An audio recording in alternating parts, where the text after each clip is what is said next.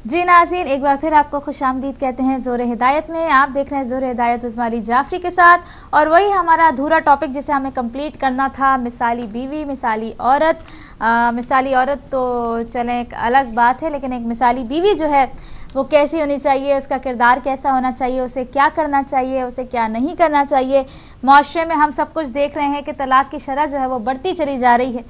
और इसमें कोई बीवियों का कसूर नहीं है कि जी मैं बीवियों को कह रही हूँ, नहीं, ताली दोनों हाथों से बचती है। इसमें मर्द हजरात का भी कसूर है।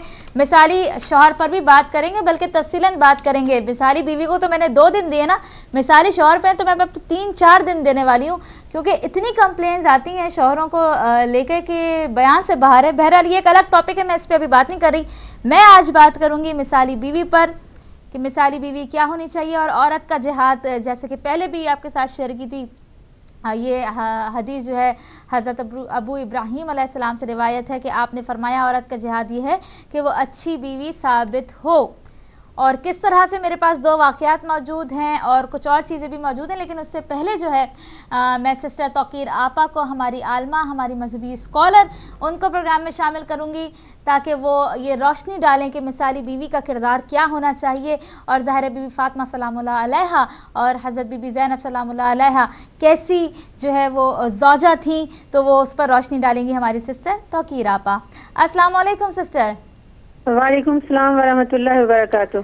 बहुत शुक्रिया आपने हमें टाइम दिया और इस टॉपिक पे बात करने के लिए आप हाजिर हुई। जजाकल्ला जी आपका बहुत बहुत शुक्रिया कि आपने इजाज़त दी के परवरदिगार आलम की रजा मंदी इंशाल्लाह शामिल हो और हम अपने नाजरीन के साथ सामीन के साथ जो है वो गुफ्तु कर जजाकल्ला सबसे पहले तो आप रोशनी डालें बीबी फातमा तो जहरा सलाम और बीबी जैनब पर मैं चाहूँगी जी बिस्मिल्लाहिर्रहमानिर्रहीम। हम ये देखते हैं कि अगरचे ये मौजू ऐसा नहीं है कि बहुत आसानी से इंसान इस पर गुफ्तगु कर सके इसलिए कि ये वो घराना है कि जिसे हम वही का घर कहते हैं। और यकीनन दुनिया में हम देखते हैं कि मियाँ बीवी जो हैं वो जिंदगियाँ गुजारते हैं अच्छी जिंदगियाँ भी गुजारते हैं।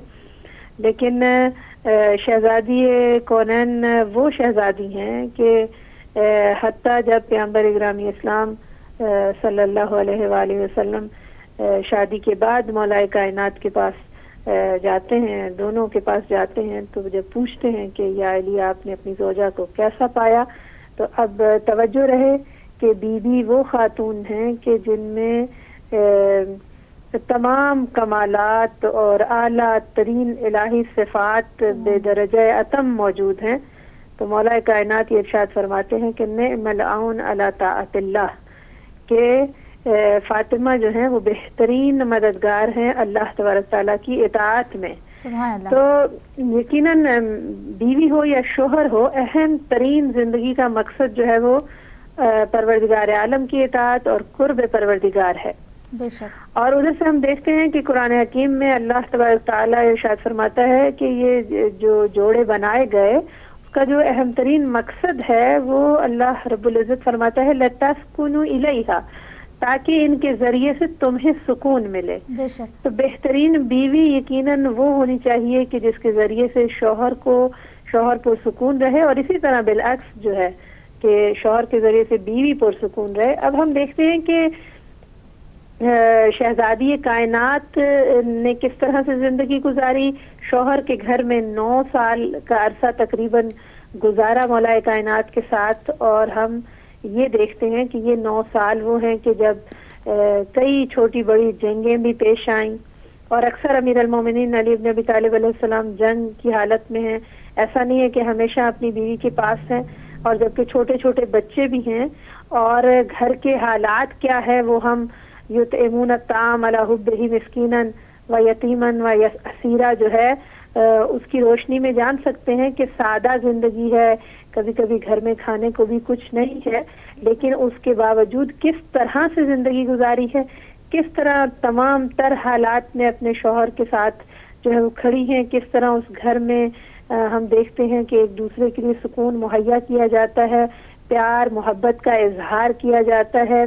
और कि यहाँ तक कि मौला अमीर मोमिन जब तारीफ़ करते हैं शहजादी की तो उस जुमले में हमें ये मिल जाता है कि एक अच्छी और मिसाली बीवी को कैसा होना चाहिए? फरमाया कि खुदा की कसम। जहरा उस वक्त तक कि जब तक वो अल्लाह के पास चली गई कभी मुझे नाराज़ नहीं किया। और जहरा फातिमा जहरा ने कोई ऐसा अमल इस अरसे में अंजाम नहीं हम्म। दिया कि जिससे मैं नाखुशनुद हूँ जिससे जो मुझे बुरा लगे। और फिर आगे अलबत्ता एक जुमला और भी बताया कि इनशाला अगर ज़िंदगी रही तो जब मिसाली शोहर की गुफ्तु आएगी तो मैं चाहूँगी कि उस वक्त उस जुमले को बयान करूँ। तो आप देखिए कि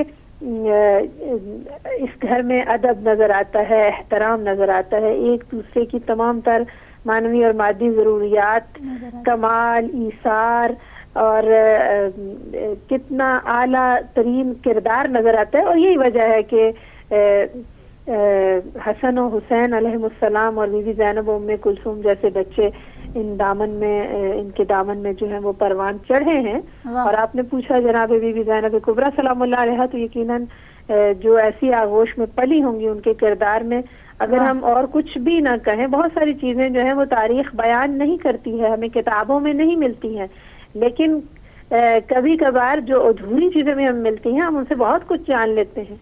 यही देखना कि शादी में शर्त है कि अगर मेरे भाई पर कोई वक्त आया तो मुझे रोका नहीं जाएगा लेकिन आप अंदाज़ा लगाइए कि किस कदर अहमियत है इन रिश्तों की कि वहाँ। पर भी हुक्म देकर नहीं कहा जाता कि मुझे जाना है भाई के साथ बल्कि गुजारिश की शक्ल में अपनी गुजारिश जो है वो पेश की जाती है।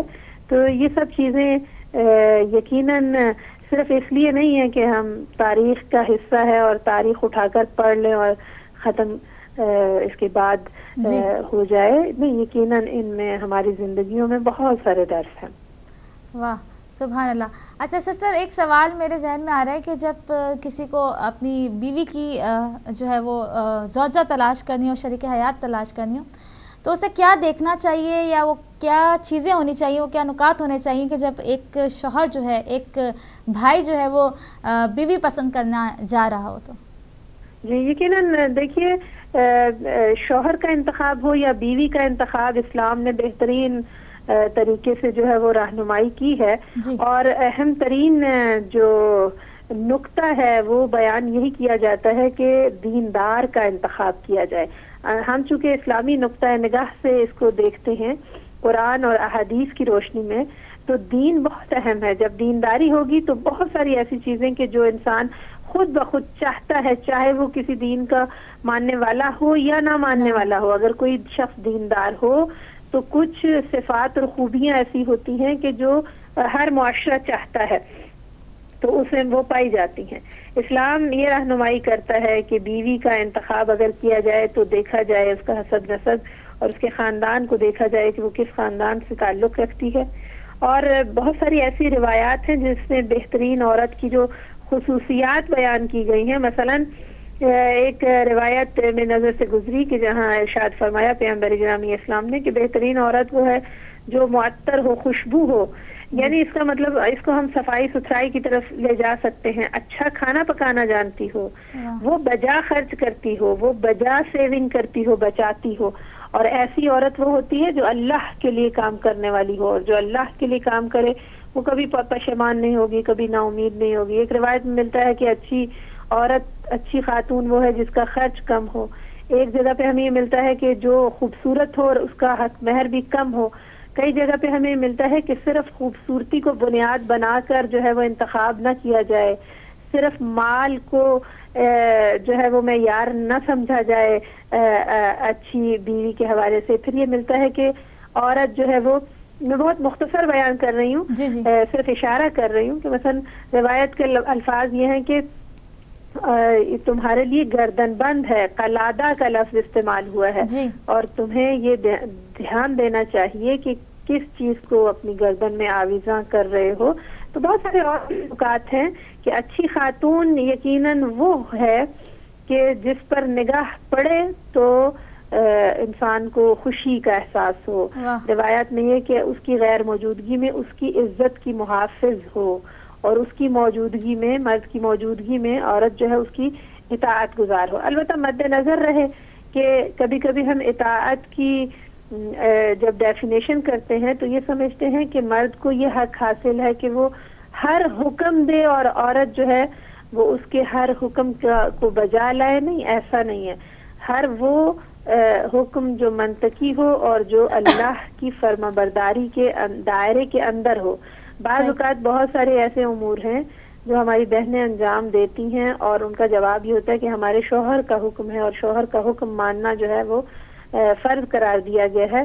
तो ऐसा नहीं है। अगर कोई हुक्म अल्लाह के हुक्म से मुतसादिम हो जाए क्लैश हो जाए तो परवरदिगार का हुक्म यकीनन बरतर है। अच्छा उस वक्त के जब मजहबी तरफ़ आ जाएँगे बहुत सी खातन जी मेरे शोहर को जो है वो पर्दा पर्दा बिल्कुल पसंद नहीं है। तो वहाँ वो ये कह देती हैं जी मैं तो अपने शोहर की इतात गुजारी करूँगी। तो यहाँ ये चीज़ गलत है राइट बिल्कुल ऐसा ही है बल्कि अभी कुछ दिन पहले ही एक जगह पे किससे मुलाकात हुई। तो खातून रोज़े से नहीं थी तो मैंने पूछा कि क्यों नहीं है रोजा? तो कहा क्योंकि मेरे शोहर रोजा नहीं रखते तो उनका हुक्म है कि आप भी मेरा साथ दें और रोजा नहीं रखें ऐसा नहीं है। यकीन जैसे आपने भी इशारा किया हिजाब है नमाज़ है इबादत है। अपनी वाजिब ज़िम्मेदारी वाजिब ज़िम्मेदारी मैं कर रही हूँ। मुस्तहब जिम्मेदारियों से यकीनन शोहर रोक सकता है कोई हरज नहीं है इसमें। लेकिन जो वाजिबात है किसी सूरत में भी शोहर को अगरचे उसका उसकी इतात और उसका कहना मानना चाहिए लेकिन उससे मर्द जो है वो नहीं रोक सकता। और खातून को भी वहाँ पर इतात का हुक्म नहीं है।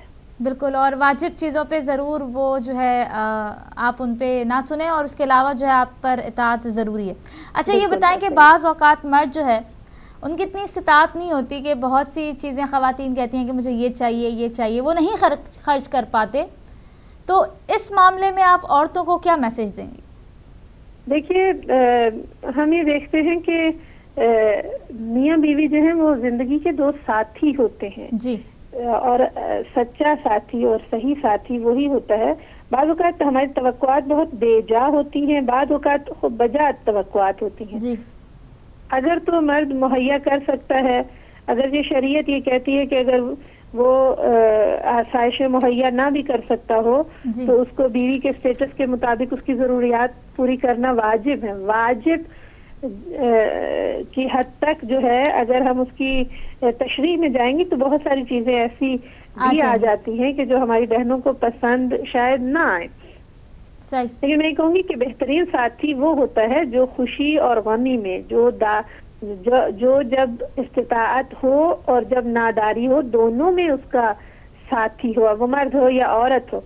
लेकिन बेहतरीन बीवी वो है कि जो आ, कमज़ोर हालात में भी अपने शोहर का साथ, साथ दे। मैं जानती हूँ कई अफराद ऐसे हैं मैं भी जानती चूँकि ज़ाहिर है कि मजालिस और दुरूस के सिलसिले में अक्सर जगहों पर जाना पड़ता है तो हर किस्म के लोगों से वास्ता पड़ता है। बाज़ात में देखती हूँ कि इस कदर बेजा तो रखती हैं खातन और नतीजतन अपनी ज़िंदगी को भी हराम किए होती हैं अपनी ज़िंदगी को भी बर्बाद करती हैं और शोहर के सुकून को भी तबाह बर्बाद करके रख देती हैं। तो ऐसा नहीं है अगर इंसान चार दिन की ज़िंदगी है अगर सब्र के साथ तहमुल के साथ। और उनकी सीरत तैयबा की तरफ़ हम देखें जिनके हम मानने वाले हैं कि आप देखिए कि अगर सारी ज़िंदगी एक बीवी ने किसी चीज़ की ख्वाहिश नहीं की और एक मरतबा इसरार पर अनार की ख्वाहिश का इजहार किया और मौलाए कायनात में वो अनार भी राह खुदा में दे दिया है। तो यकीन वो जानते थे कि मैं घर जाऊँगा तो फिर बीवी जो है वो मेरे साथ ऐसा नहीं करेगी कि जो आजकल बीवियाँ जो है शोहरों के साथ करती हैं। जजाकल्ला बहुत शुक्रिया सिस्टर प्रोग्राम में शामिल होने का बड़ी खूबसूरत बातें आपने हमारे साथ शेयर की और इसी तरह आप शामिल होते रहिएगा। मौला आपको सलामत रखे। जजाकल्ला। सलामत रहिए अल्लाह ताला की तोफ़ीक़ात को इजाफा करें बहुत शुक्रिया आपका। जी नाजिन हमारे साथ मौजूद थी सिस्टर तोकीर फातमा हमारी आलमा हमारी बहन। अच्छा बड़ी अच्छी बातें हुई तात गुजारी की बातें हुई। और सबसे बढ़कर ये कि आप वो उस चीज़ की ख्वाहिश ना करें कि जिसकी आपका शोहर जो है वो ताकत ना रखता हो। और एक बहुत ही खूबसूरत मैसेज जो आज की तमाम ख़वान को मिला है जो हमने भी अपने माशरे में देखा है और ऑफ़ कोर्स आपने भी अपने माशरे में देखा होगा कि जी हम आ, मैं तो स्कार्फ नहीं ले सकती यू नो मेरे हस्बैंड को बिल्कुल नहीं पसंद है। तो वो मुझे कहते हैं कि मॉडर्न रहो स्कार्फ ना लो चादर ना लो। तो आज जो है हमारी आलमा जो है हमारी स्कॉलर सिस्टर तोकीर फातमा ने इस बात को क्लियर कर दिया। कि जो आपके वाजिबात हैं, जो वाजिब चीज़ें हैं, उसमें आपको, ऐसा नहीं है कि आपको वहाँ शोहर की तात करनी है, वहाँ आपने शोहर को बताना है कि नहीं जी ये जो है हमें करना पड़ेगा। मैं आपको अपनी मिसाल देती हूँ। मैं अपनी मिसाल आप बिलीव करेंगे कि मेरी शादी जहाँ हुई थी, मेरे ससुराल में इतना पर्दा नहीं था। तो मैं शुरू से शादी, मैं शुरू से जब हिजाब लेती थी इमाम जामिन हुआ निका हुआ अब रुखसती के बाद जब मैं गई तो मेरी सास नंदे जो है वो नहीं लेती थी इस तरह हिजाब, इतनी प्रॉपर नहीं करती थी। तो मुझे खौफ था कि पता नहीं क्या होगा। तो बल्कि पूरा ससुराल जो है वो नहीं हिजाब करता था। तो मैंने अपने शोहर से कहा कि मैं इसको कंटिन्यू करूँगी, मैं इसको हिजाब करूँगी। मैंने उन्हें बताया कि हिजाब क्या चीज़ है, किस तरह करना चाहिए, होना चाहिए। तो अब ये है वक्त अब ये आ गया है कि अब ज़रा सा मैं कोई चादर लेने में या स्काफ लेने में वैसे तो मैं करती नहीं हूँ, लेकिन अगर ज़रा सा भी कुछ होता है तो मेरे शोहर कहते हैं, जी प्रॉपर आप स्काफ लें प्रॉपर रुबट्टा लें और ये छोटा रुबट्टा है, इसको बड़ा कर लें और इसको छोटा कर लें और पिन यहाँ लगा लें। तो वक्त ऐसा आ गया है तो ना कि मैं कहने का मकसद ये है कि बीवियों को ऐसा होना चाहिए कि शौहर अगर आपको कहें कि हिजाब ना लो तो आप उनको बताएँ कि हिजाब क्या है, कितनी इंपॉर्टेंट चीज़ है हिजाब। और इस पर हम पहले भी प्रोग्राम कर चुके हैं और जहाँ तक ताल्लुक़ है, एक हदीस मेरे साथ मौजूद है, वो आपके साथ शेयर करूँगी कि नबी करीम सल्लल्लाहु अलैहि वसल्लम ने फरमाया, जो औरत अपने शोहर के साथ अच्छे ताल्लुकात ना रखे और ऐसे काम पर मजबूर करे कि जिसकी ताकत और कुदरत उसमें ना हो तो उसकी कोई नेकी कबूल नहीं होती और वो खुदा से इस हाल में मुलाकात करती है कि अल्लाह सुबहाना ताला उस पर गज़बनाक होता है। अल्लाह अकबर। कि देखें कि क्या फरमा रहे हैं रहमत आलमीन अलैहि वसल्लम कि अगर आप उस चीज़ की ख्वाहिश रख करें, उस चीज़ का इजहार करें कि जिसकी ताकत आपका शोहर नहीं रखता तो क्या फरमा रहे हैं कि वो उस औरत की कोई नेकी कबूल नहीं होती? और ना सिर्फ़ नेकी कबूल हो नहीं होती, बल्कि वो खुदा से इस हाल में मुलाकात करती है कि अल्लाह सुबहान ताला उस पर गज़बनाक होता है। इसी मैसेज के साथ ब्रेक का वक्त हुआ जाता है। वापस आएँगे। आपकी कॉल्स का सिलसिला शुरू करेंगे और मिसाली बीवी पर आपके जो भी ख्याल हैं, आप उनका इजहार कीजिएगा। लेते हैं छोटी सी ब्रेक। कहीं नहीं जाइएगा। हमारे साथ रहिएगा।